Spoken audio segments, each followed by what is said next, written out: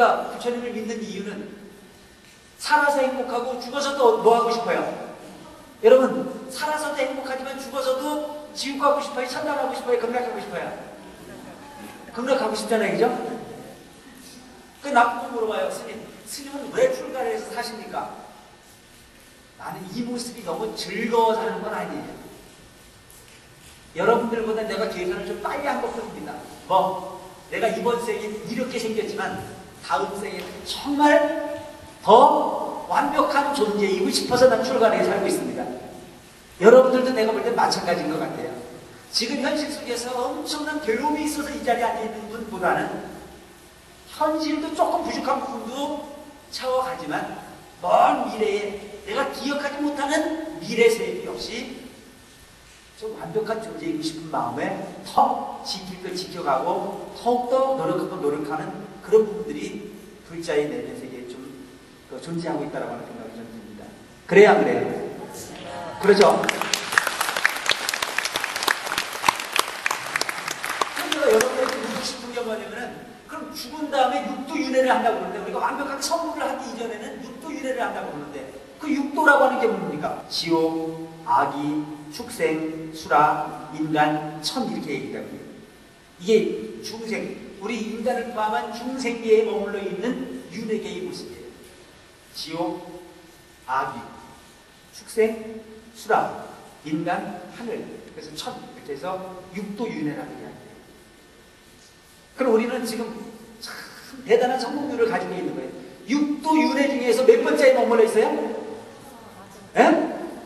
육도 윤회 중에서 지옥, 아기, 축생, 수락, 인간, 천 여섯 끝발 중에서 다섯 단계까지 올라와 있어요.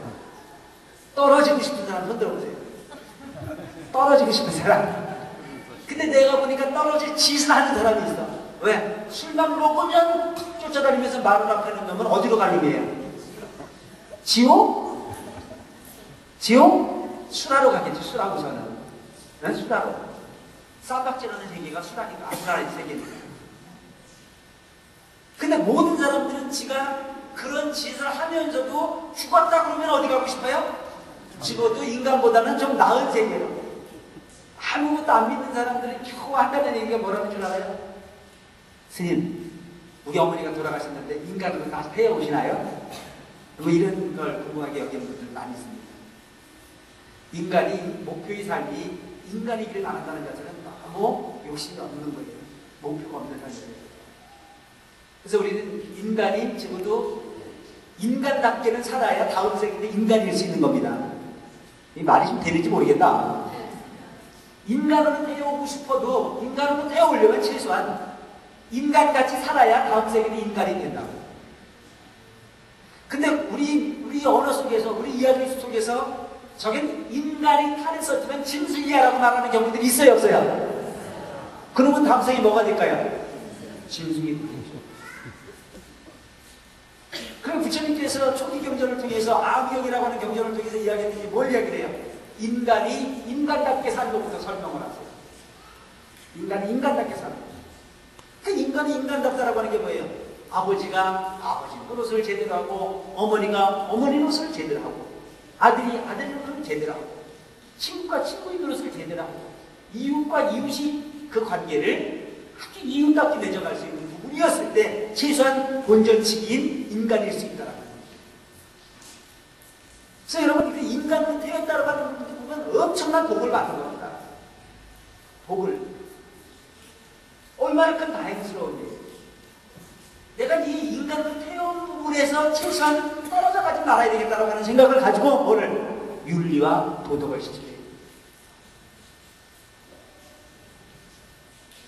천상세계에 태이고 싶거든 어떤 생각을 가져야 돼? 저 하늘에 사는 천녀가 하늘에 사는 신선이 어떤 마음을 살겠습니까? 신선이 도둑질 하겠어요? 신선이 마음을 하겠어요? 그런 거 안 할 거 아닙니까? 그죠? 지혜로워야 돼요. 그래서 부처님이 제자로서 부끄러움이 없는 삶이 될 수 있도록 그 자기 행동을 연출하는 거예요. 근데 가끔 보면 행동은 전혀 아닌 사람들이 욕심은 하늘을 찔러가지고 난 죽었으면 분명히 극락을 가고 싶다고 욕심을 내는 분들이 많이 있어요. 극락을 가려고 하는 여러분 이런 거예요. 호수에 호수에 돌을 던집니다. 그래놓고 그 돌을 던져놓고 거리 떠올라라 떠올라라 기도를 하면 그 호수에 돌은 떠오릅니까 안 떠오릅니까?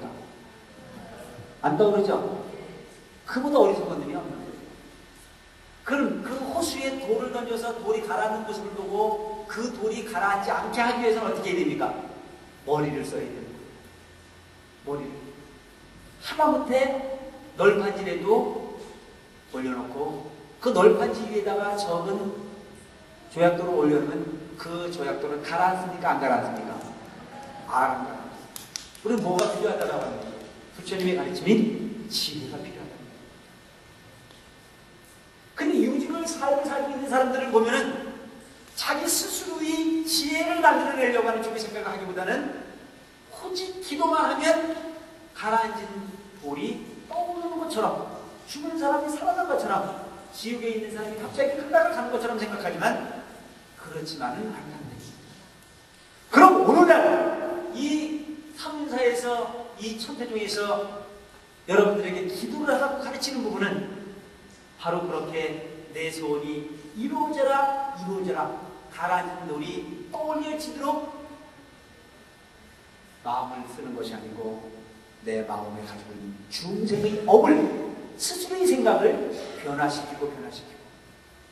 그 법의 찌꺼기라고 하는 부분을 덜어내고 덜어낸 수단으로서의 회의라고 하는 부분을 잊지 말라는 얘기입니다. 아시겠어요? 네. 기도는 여러분 낫지 않는다라고 하는 얘기를 지금 무언가가 되게 해달라고 하는 부분은 그건 있을 수 없는 부분이라는 얘기예요. 될 수 있도록 지혜를 만들어야 됩니다. 그래서 우리가 관세음보살을 부르고 함을 났어요. 열심히 정진하는 이유는 내 참제 속에 참자고 있는 모든 어의 덩어리들을 헤어내고 헤어내고 그래서 그 부분을 뿜어내서 청정한 내 마음의 현실을 통한 지혜를 발현하기 위한 수단이라고 하는 사실을 잊지 않았으면 좋겠어요. 그래서 여러분 적어도 우리는 미래를 만들어가는 것도 나요 과거를 만들어가는 것도 하는 쪽의 생각을 해야 불교의 기초를 이룰 수 있습니다.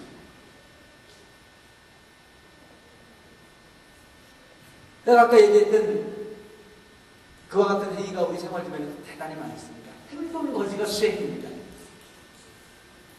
부처님을 믿는 것 자체는 무엇을 위함이냐? 내 행동을 바꾸기 위함이라고 하는 사실을 잊지 말아줬으면 좋겠습니다. 내 행동을 바꾸기 위해서 부처님을 믿는 겁니다. 내 행동을 바꾸지 않았을 때는 이미 얻을 수 있는 부분이 없습니다. 내가 세상을 사는 데 있어서 괴로움이 많다라고 하는 얘기는 내 스스로가 내 마음에 가지고 있는 번뇌의 찌꺼기가 많기 때문에 지혜롭지 못하기 때문에 널판지를 이용해서 배를 통해서 강을 건너가야 되는데도 불구하고 헤엄도 치지 못하는 놈이 그냥 막연히 급한 마음으로 건너가다가 빠져 죽는 경우나 마찬가지가 될 수 있다는 사실을 꼭 기억해 주시면 좋겠습니다. 불교라고 하는 부분을 일반적인 종교와 혼돈을 해서 뭘 불러야 소원이 빨리 이루어지느냐라고 하는 걸 궁금해하는 분들이 많이 있어요. 뭘 불러야 빨리 이루어집니까? 참, 부처님께서도 보면은 이름을 한 가지만 만들어 놓지 뭘 그렇게 많이 만들어 놓으셔가지고 헷갈리게 만들어 놨어요. 그래서 틈만 나면 나한테 와가지고 스님 등을 키는데요. 어떤 등을 켜야 빨리 끝내주는 거예요. 어떤 등을 켜야 빨리 소원이 이루어질 거냐라고 하는 걸 묻는 경우가 있어요. 나도 모르는데 어디에서 그걸 가지고 왔는지 모르겠어요. 어떤 등을 키면 어떤 소원이 이루어진다는 게 어디 있습니까? 마음이면 다 되게 되는 게 불교인데. 에? 내 마음의 정성을 들이면 모든 부분이 다 얻을 수 있는 부분인 거예요. 또 하나는 얘기가 스님, 우리 아들은 이러이러한 소원인데요. 약사를 부를까요? 관세음보살을 부를까요? 부르다 말고 지장보살을 불러야 돼요. 뭘 불러야 되나요? 너무너무 헷갈려 하는 분들이 많이 있어요. 어떤 용어를 불러내는 게 중요한 게 아니라는 겁니다. 내 마음을 어떻게 청정하게 비울 거냐라고 하는 중요합니다. 성실하게 그 행위를 통해서 내 마음을 청정하게 비워가는 작업을 합니다. 그것이 바로 불교에서 얘기하고 있는 수행인 겁니다. 그래서 여러분들에게 부탁드리고 싶은 것이 우리는 적어도 이제는 기도를 하는 불자이기보다는 정진을 하는 불자였으면 좋겠다라고 하는 얘기를 하고 싶어요. 아시겠습니까? 네. 기도를 하는 불자이기보다는 내 마음을 바꾸는 불자가 됩니다. 내 마음이 바뀌면 뭐가 바뀌겠습니까? 행동이 바뀔 거예요. 행동이 바뀌면 결과가 바뀌게 되어 있습니다. 그래서 무조건 행동을 하는 것보다는 바른 생각을 가지고 바르게 보고 바르게 행동이 되는 거예요. 바르게 보지 못하고 바르게 판단하지 못한 행동이 이루어졌을 때는 오히려 행동을 아는 것만 못한 경우가 많이 있습니다.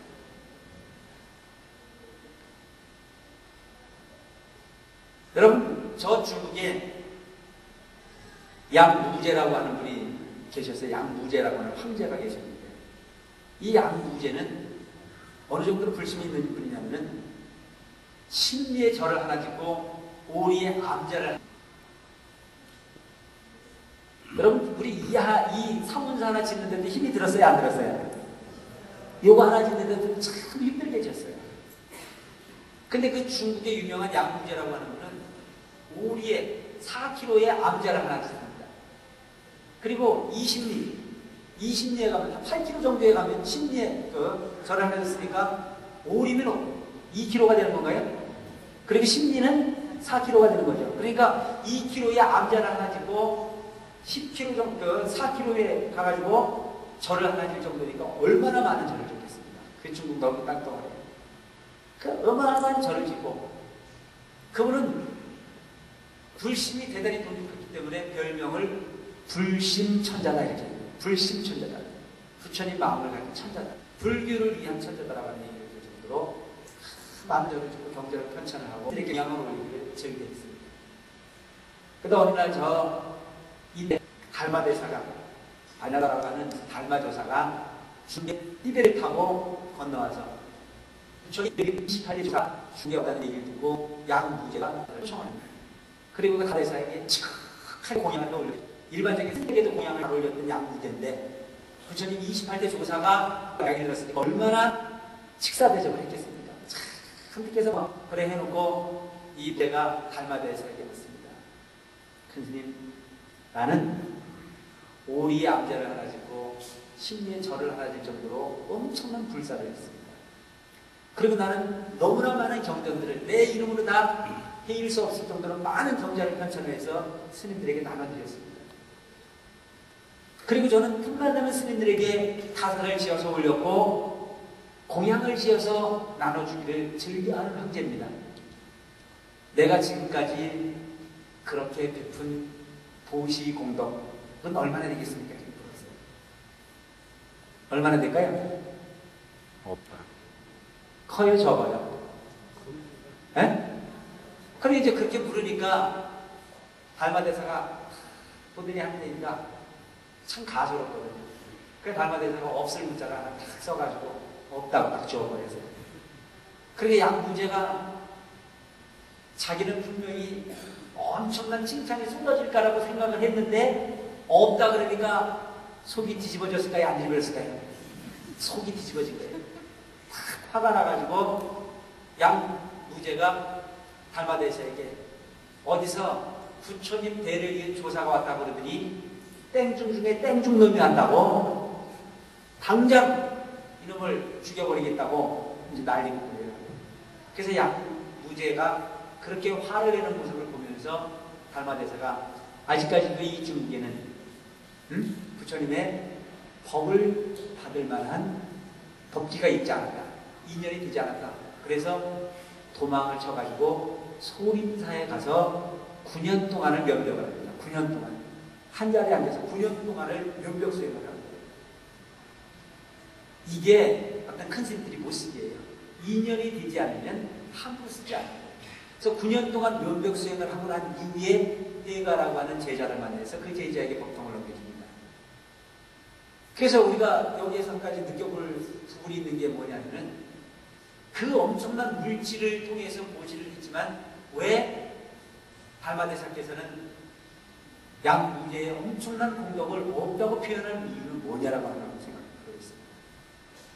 공덕이라고 하는 것은 물질이 행위로서만 질수 있는 것이 아니고 마음으로서 질수 있는 부분이라고 하는 부분을 우리가 여기서 느낄 수가 있습니다. 상대방에게 뭔가를 베풀 때 상을 내지 말아야 됩니다.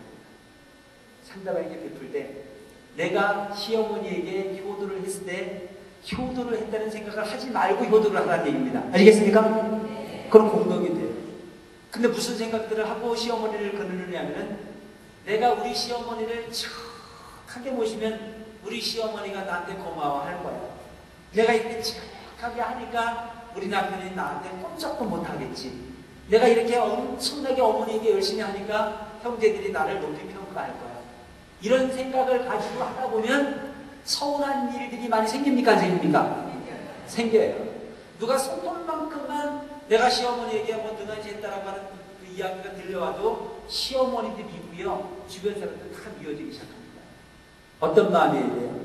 했다는 생각을 하지 말고 그냥 당연히 내가 해야 할 일이라는 생각을 가지고 하면 그런 분노심이 일어나지 않습니다. 그래서 양무제도 화를 낼 일이 아니에요. 그냥 아 그렇습니까? 그러면 되는 부분인데 양무제는 속이 좁게도 불심천자라고 하는 칭을 얻었지만 결국 그렇게 행동하지 못했습니다. 진정, 진정 달마대상께서 달그 육제 뭐 예를 들어서 그 어, 양무제의 행위가 그게 공덕이 아니기 때문에 없다고 얘기하는 건 아니었을 겁니다. 그 마음을 없애라. 했다는 생각을 없애라. 그래서 이 세상의 공덕은 유의 공덕과 무의 공덕이 있다고 얘기합니다. 유의 공덕이라는 자체는 어떤 거예요? 유의 공덕은 이미 복을 지었을 때 그것은 이미 세는 공덕이라 는 거예요. 무의 공덕이라는 자체는 세지 않는 공덕. 모름지기 우리가 어떤 행동을 할 때는 마음을 내지 말고 바라는 마음이 없이 실천을 하면 내 마음도 상처가 없고 항상 모든 부분이 즐겁게 해양이 되게 되어 있습니다. 내가 희생을 한 부분에 대해서 조건을 붙이면 그때부터 서운한 감정이 나타나기 시작합니다. 그래서 저는 그 방법 중에 하나만 생각하는 게 어떤 생각을 하냐면은 내가 희생을 해서 뭘 하나 이뤘어도 그곳에 가서 확인하려고 하지 않았으면 좋겠다는 생각입니다. 아시겠어요? 네. 내가 어떤 행위를 했거든 거기서 확인을 하려고 하지 마.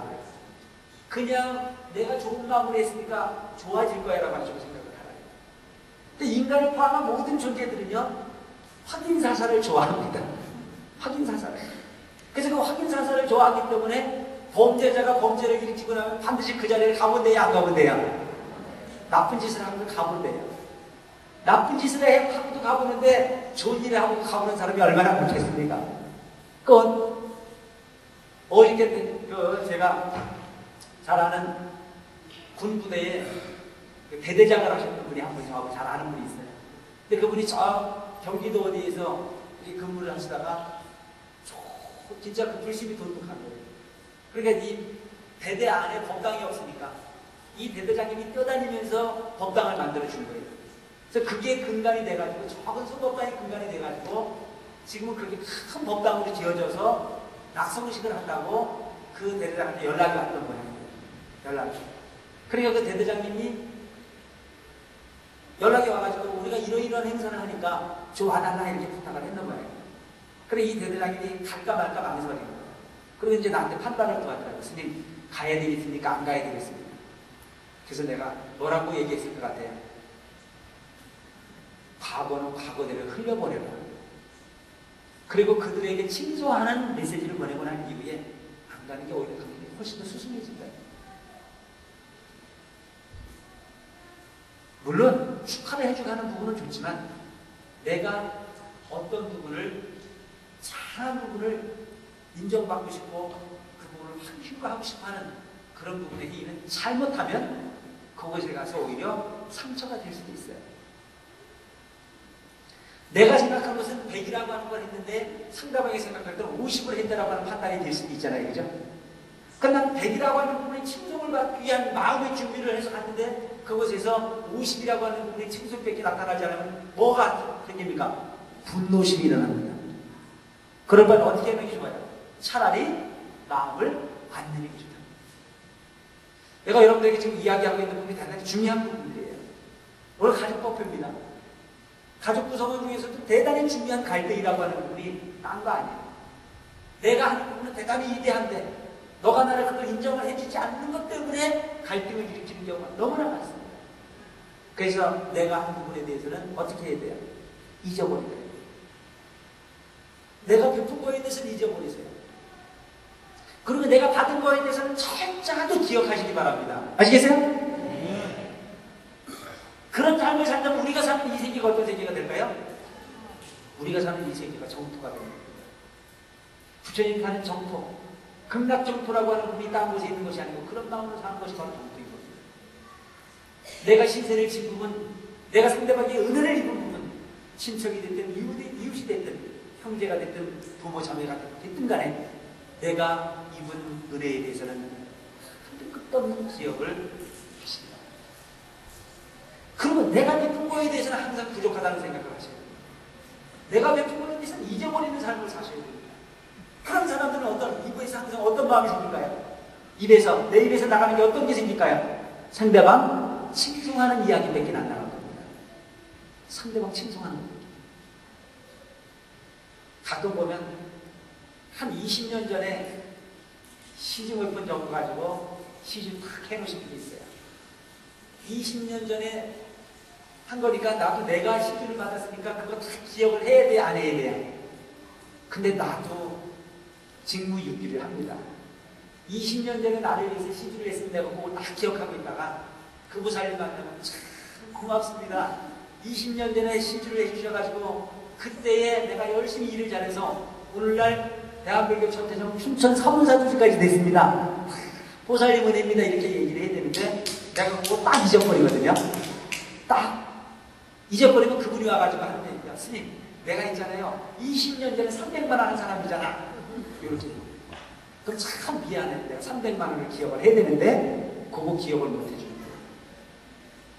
내 내면의 세계를 생각하는 게 그거 표현 안 하셨으면 내가 인정을 안 해주고 나는 기억을 못 해줘도 부처님이 제불 문들은 기억을 해줘서 더 큰 공덕 달아도 달아도 정말 달아지지 않는 영원한 공덕이 될 텐데 아직까지도 300만 원을 끌어안고 다니는구나 싶은 생각이 드니까 조금은 안 됐다는 생각도 들어요.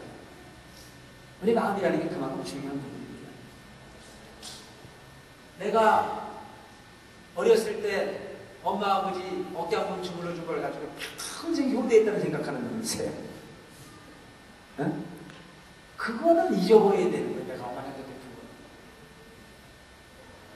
그래서 항상 우리 어떤 가족 구성원들이 상대방을 불쌍하게 보고 상대방에게 지은 부분을 신세를 지은 부분을 잊지 않는 마음 그 부모의 은혜를 잊지 않고 오직 부모가 나한테 희생한 부분만 기억을. 근데 가끔 보면은 이제 소위 말하는 자수성가를 했다고 일컫는 사람들이 있어요. 자수성가. 자기 스스로가 노력을 해서 성공을 했다라고 이야기를 하는 사람들이 보면은 하나같이 와서 하는 얘기가 선생님 저는 부모에게 신세지가 손톱만큼도 없습니다. 내가 해서 다 이렇게 읽었습니다. 커 보이긴 하는데요. 그렇게 이뻐 보이진 않아요. 그거 그렇게 큰 자랑거리는 아니거든요. 이렇게 이야기하면 더 좋을 것 같아요. 우리 어머니가 나한테 재산은 넘겨주시진 않았지만 큰 복을 안겨주셔가지고요. 제가 하는 일이 참 잘 된 것 같습니다. 얼마나 그 일이 이뻐 보입니까? 그래야 그래요.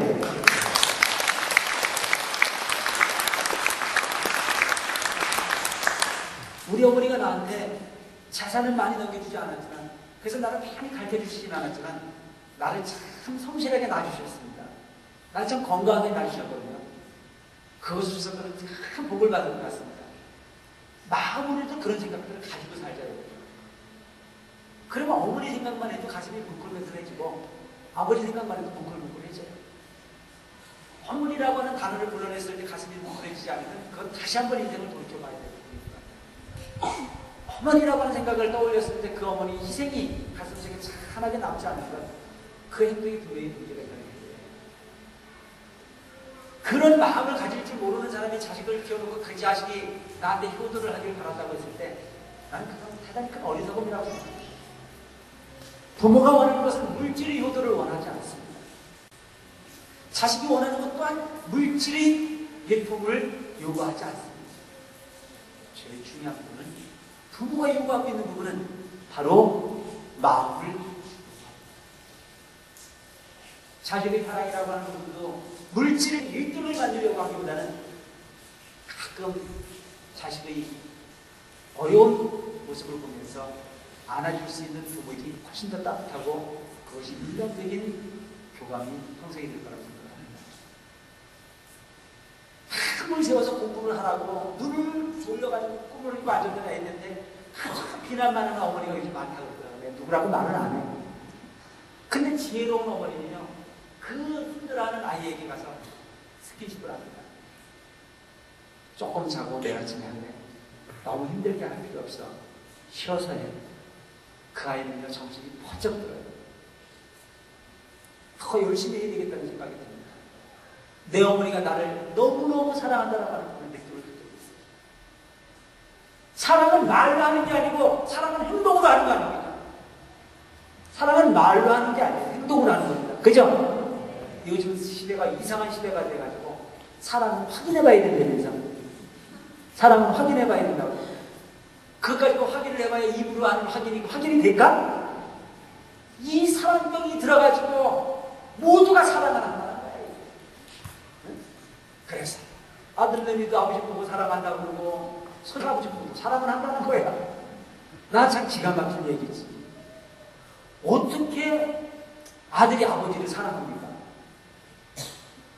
어떻게 딸이 어머니를 사랑하고 아버지를 사랑해요? 용어 혼돈 현상이 부딪혀가고 있어요. 아버지라고 하는 용어가 떠올랐을 때 가슴이 뭉클해지는 건 어떤 겁니까? 존경이에요. 존경입니다. 어른은 존경을 해야 되는 거지 사랑하는 거 아닙니다. 아시겠어요? 존경은요, 눈빛으로 하는 거예요. 어머니 오래간만에 만나서 어머니 아이 모습을 보면서 눈물 지을 수 있는 마음이 진짜 존경인 거고, 그게 진짜 효도야. 내 어머니 늙어가시는 모습을 보면서 너무 안타까워하는 그 마음 자체가 복을 받을 수 있는 거예요. 신경이 살고 있는 이웃에게 정말 행동으로 한번 것들어 그분이라도 도와주려고 애쓰는 그런 모습들이 그게 자기인 거예요. 남을 의식해서 갈 수 있는 부분보다는 보여지게 하는 부분보다는 마음에서 우러나는 부분을 만들어가는 거예요. 아무런 느낌이 없는 분들 있잖아요. 에? 아무런 느낌이 없는 분들은 어떻게 하셔야 돼요? 기도 많이 하셔야 돼요. 아무런 느낌이 없는 분. 안된 모습을 보고도 느낌이 없는 분들은 기도를 많이 하셔야 되는 거예요. 어머니를 보고 아버지를 봤는데도 느낌이 없거든 기도 많이 하라고요. 아직까지도 인간이 저 성숙돼져 가고 있음을 이야기하는 모르겠습니다. 우리 어머니가 나를 안 붙게 해요. 우리 아버지가 나한테 베푼 게 없습니다. 라고 하는 걸 원망하는 거죠.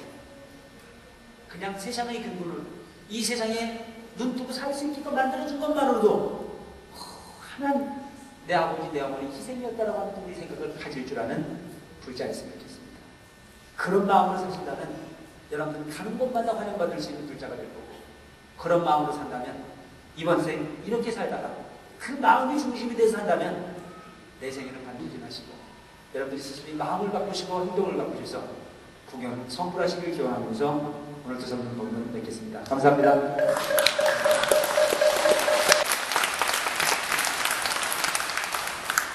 다음은 축가가 있겠습니다. 축가는 3차 합창까지 부르겠습니다. 제목은 우리도 부처님 같이입니다.